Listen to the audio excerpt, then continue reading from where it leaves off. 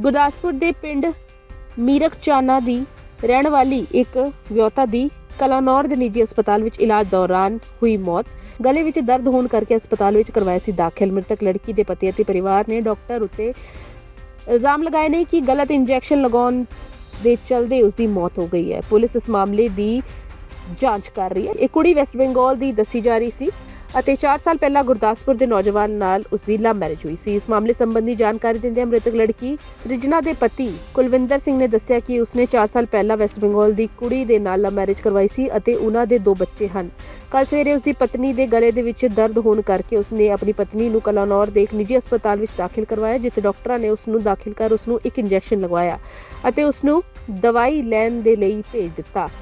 Injection ਲੱਗਣ ਤੋਂ ਬਾਅਦ ਉਸ ਦੀ ਪਤਨੀ ਦੀ ਹਾਲਤ ਜ਼ਿਆਦਾ ਵਿਗੜਨ ਲੱਗੀ ਅਤੇ ਡਾਕਟਰਾਂ ਨੇ ਕਿਹਾ ਕਿ ਉਸ ਨੂੰ ਸਿਵਲ ਹਸਪੀਟਲ ਲੈ ਕੇ ਜਾਓ, ਜਿੱਥੇ ਉਸ ਦੀ ਮੌਤ ਹੋ ਗਈ। ਉਹਨਾਂ ਨੇ ਆਰੋਪ ਲਗਾਏ ਕਿ ਨਿੱਜੀ ਹਸਪਤਾਲ ਦੇ ਡਾਕਟਰਾਂ ਵੱਲੋਂ ਲਗਾਏ ਗਏ ਤੇਜ਼ ਇੰਜੈਕਸ਼ਨ ਕਾਰਨ ਓਵਰਡੋਜ਼ ਹੋਣ ਦੇ ਚਲਦੇ ਉਸ ਦੀ ਮੌਤ ਹੋ ਗਈ। ਉਹਨਾਂ ਨੇ ਡਾਕਟਰ ਖਿਲਾਫ ਬੰਦੀ ਕਾਰਵਾਈ ਕਰਨ ਦੀ ਮੰਗ ਕੀਤੀ ਹੈ। ਇਸ ਸੰਬੰਧੀ ਜਾਣਕਾਰੀ ਦਿੰਦਿਆਂ ਮੌਕੇ ਤੇ ਜਾਂਚ ਕਰਨ ਪਹੁੰਚੇ ਏਐਸਆਈ ਸੁਰਿੰਦਰਪਾਲ ਨੇ ਕਿਹਾ ਕਿ ਉਹਨਾਂ ਨੂੰ ਸੂਚਨਾ ਮਿਲੀ ਸੀ ਕਿ ਇੱਕ ਲੜਕੀ ਦੀ ਮੌਤ ਹੋ ਗਈ ਹੈ, ਜੋ ਵੈਸਟ ਬੰਗਾਲ ਦੀ ਰਹਿਣ ਵਾਲੀ ਹੈ ਜਿਸ ਦੀ ਲਾਸ਼ ਨੂੰ ਸਿਵਲ ਹਸਪੀਟਲ ਦੇ ਭੇਜ ਦਿੱਤਾ ਗਿਆ ਹੈ। ਮੌਕੇ ਤੇ ਪਹੁੰਚ ਕੇ ਪਰਿਵਾਰਿਕ ਮੈਂਬਰਾਂ ਦੇ ਬਿਆਨ ਦਰਜ ਕੀਤੇ ਗਏ ਨੇ। ਉਹਨਾਂ ਨੇ ਕਿਹਾ ਕਿ ਪਰਿਵਾਰ ਨੇ ਆਰੋਪ ਲਗਾਏ ਹਨ ਕਿ ਡਾਕਟਰ ਵੱਲੋਂ ਲਗਾਏ ਇੰਜੈਕਸ਼ਨ ਕਾਰਨ ਲੜਕੀ ਨੂੰ ਇਨਫੈਕਸ਼ਨ ਹੋਈ ਹੈ ਅਤੇ ਉਸ ਦੀ ਮੌਤ ਹੋ ਗਈ ਹੈ। ਪਰਿਵਾਰ ਦੇ ਬਿਆਨ ਦਰਜ ਕਰਕੇ ਅਗਲੀ ਬੰਦੀ ਕਾਰਵਾਈ ਜਿਹੜੀ ਹੈ ਉਹ ਕੀਤੀ ਜਾ ਰਹੀ ਹੈ।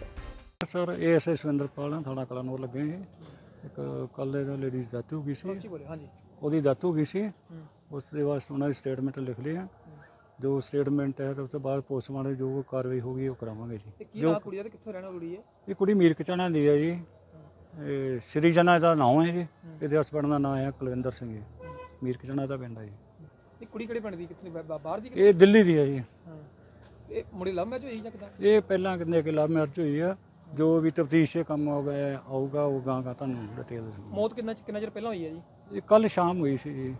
8:30 ਵਜੇ ਦੱਸਦੇ ਜੀ ਕੜੇ ਪ- ਪ- ਪਰਿਵਾਰ ਮੈਂਬਰ ਦਾ ਕਹਿਣ ਮੁਤਾਬਕ ਕੀ ਹੋਇਆ ਜੀ ਇਹਨੂੰ ਪਰਿਵਾਰ ਕਹਿੰਦੇ ਕਿ ਦਵਾਈ ਲਈ ਸੀ ਦਵਾਈ ਦੇ ਕਾਰਨ ਕੋਈ ਇਨਫੈਕਸ਼ਨ ਹੋ ਗਿਆ ਜੀ ਇਨਫੈਕਸ਼ਨ ਕਾਰਨ ਉਹਦਾ ਹੋ ਗਿਆ ਕਿੱਥੇ ਦਾਖਲ ਕਰਵਾਇਆ ਕੁੜੀ ਨੂੰ ਇਹ ਕਲਾਨੌਰ ਹਸਪੀਟਲ ਵਿੱਚ ਹੋਇਆ ਜੀ ਉੱਥੇ ਮੌਤ ਹੋਈ ਹੈ ਜੀ ਹਾਂਜੀ ਹੁਣ ਕੀ ਕਾਰਵਾਈ ਕੀਤੀ ਜਾ ਰਹੀ ਹੈ ਜੋ ਬਿਆਨ ਲਿਖੇ ਆ ਜੀ ਜੋ ਕ ਤੱਥ ਸਾਹਮਣੇ ਆਉਣਗੇ ਉਹਦੇ ਬਦੇ ਵਿੱਚ ਕਾਰਵਾਈ ਕਰ ਰਹੇ ਹਾਂ ਜੀ ਕਿੰਨੀ ਕੁ ਉਮਰ ਕੁੜੀ ਦੀ ਜੀ ਇਹ 24 ਸਾਲ ਹੈ ਜੀ ਇਹਦੀ ਉਹ ਬੱਚੇ ਹੈਗੇ ਨਾ ਦੇ ਦੋ ਬੱਚੇ ਆ, ਇੱਕ ਲੜਕੀ ਹੈ, ਇੱਕ ਲੜਕਾ ਜੀ बेटी का सृजाना कामी कहाँ ना शादी हुई इनका ये को शाम को परसों रात को बात वीडियो कॉल हुआ था बात। मैं ड्यूटी से आया, बीबी ने मेरा मोबाइल लिया उससे बात किया वीडियो में।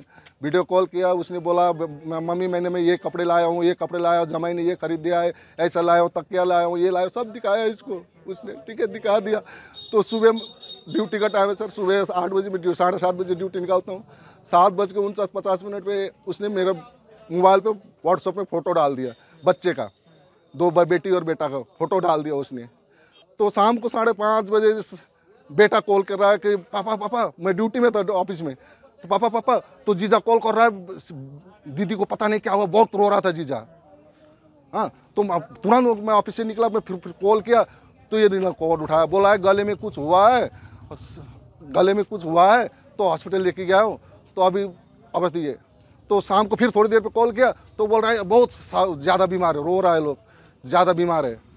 अभी अब मैं आया हूँ वहाँ से दिल्ली से रात को यहाँ गाड़ी चढ़ा तो आया यहाँ आया दो दो, दो चार अंकल था यहाँ बैठा हुआ उससे मैंने पूछा कि मेरी बेटी कहाँ आई शुरू में आई शुरू में आई शुरू में ये कोई नहीं बताया उसने कि ऐसा हुआ है ये कोई अंदर है सर उसका लाश ਕੁੜੀ ਦੇ ਕੱਲ 12 ਕੁ ਵਜੇ ਉਹਦੇ ਗਲੇ 'ਚ ਦਰਦ ਹੋਣ ਡਈ ਸੀ ਤੇ ਦਰਦ ਹੋਣ ਡਈ ਤੇ ਮੈਂ ਛੋਟਾ ਹੱਥੀ ਚਲਾਉਣਾ ਹੈ ਤੇ ਉਹਨਾਂ ਮੈਨੂੰ ਦੱਸਿਆ ਕਿ ਇਸ ਤਰ੍ਹਾਂ ਮੇਰੇ ਗਲੇ 'ਚ ਦਰਦ ਹੋਣ ਡਈ ਆ ਤੇ ਬਾਅਦ 'ਚ ਚਾਰ ਕੁ ਵਜੇ ਮੈਂ ਸ਼ਹਿਰ ਨੂੰ ਆਉਣਾ ਸੀ, ਲੱਕੜ ਲੱਦੀ ਸੀ ਗੱਡੀ ਤੇ।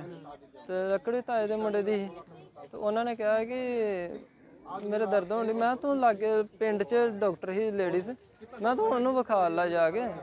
ਤੇ ਉਹ ਗਏ ਉਹਨਾਂ ਕੋਲ ਤੇ ਉਹ ਲੇਡੀਜ਼ ਨੇ ਮਨਾ ਕਰਤਾ ਕਿ ਗਲੇ ਦੀ ਪ੍ਰੋਬਲਮ ਹੈ ਮੈਂ ਨਹੀਂ ਚੈੱਕ ਕਰ ਸਕਦੀ, ਮੈਂ ਦਵਾਈ ਨਹੀਂ ਦੇ ਸਕਦੀ। ਮੈਂ ਉੱਥੋਂ ਬਾਅਦ ਚ ਇਹਨਾਂ ਨੂੰ ਇਹ ਆਏ, ਫਿਰ ਮੇਰੇ ਕੋਲ ਮੈਨੂੰ ਕਹਿੰਦੇ, ਇਸ ਤਰ੍ਹਾਂ। ਮੈਂ ਮੈਂ ਮੈਡੀਕਲ ਚੋਂ ਦਵਾਈ ਲਿਆ ਦਾਂਗਾ। ਤੇ ਕਹਿੰਦੇ ਨਹੀਂ ਤੂੰ ਸ਼ਹਿਰ ਚੱਲੇ ਜੇ ਤੇ ਮੈਨੂੰ ਵੀ ਲੈ ਜਾਓ ਨਾਲ। ਤੇ ਮੇਰੇ ਨਾਲ ਗੱਡੀ 'ਚ ਹੋਰ ਬੰਦੇ ਸੀ।